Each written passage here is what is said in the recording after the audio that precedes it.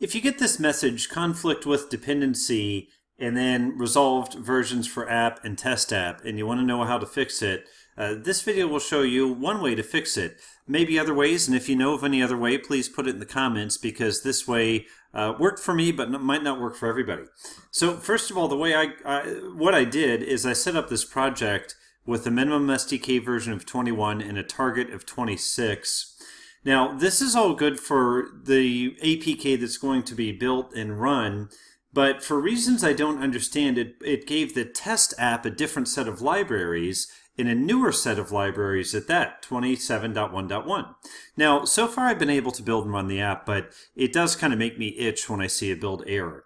So the solution that I found is to just bump the target to 27. I know this kind of feels like cheating, but bump the target on up to 27 and then take these uh, implementation libraries here from 26.1.0, bump those to be consistent with what the test app is looking for, and that's 27.1.1.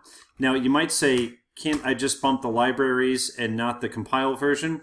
Well, unfortunately not, because those libraries assume a target version of 27 and a compile version of 27.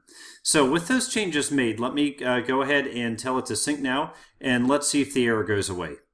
Now I paused the video so you wouldn't have to wait through the build and take a look. Sure enough, the build worked. So I hope this helps. Again, if you if it helped you or if you have another way to fix this and stay on version 26, let me know in the comments. Thank you.